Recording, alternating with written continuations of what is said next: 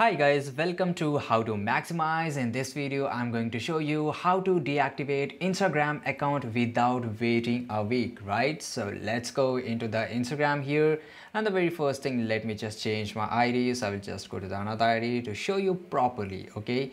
And just go to the profile icon, which is on bottom right side corner. Then click on the three lines, which is on top right three uh, which is on top right side corner okay? Then just go to the setting here. Then you have to just click on the help and after that go to the help center okay?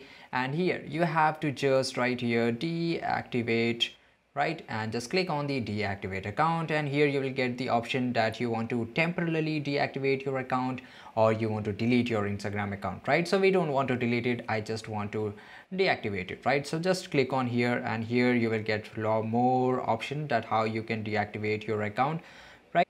so basically guys, it is not right now present in our Instagram app. We have to just go our profile. We have to just go to the Chrome browser here and just click here on the search bar and type Instagram. Okay. So we have to log in into the browser to deactivate our account. So we will just log in into the uh, web browser. So just let me log in here.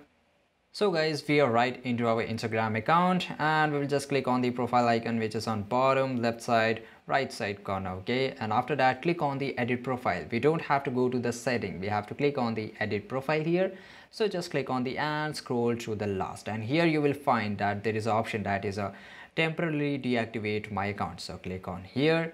And after that you have to select the reason why you want to deactivate your account right? So i just uh, privacy concern okay? And here you have to enter the password of your account. So after entering the password your account will be get completely deactivate from the today right? So this is pretty easy. Thank you for watching this video. If you found this video really useful make sure to like this video subscribe our channel and see you guys in the next video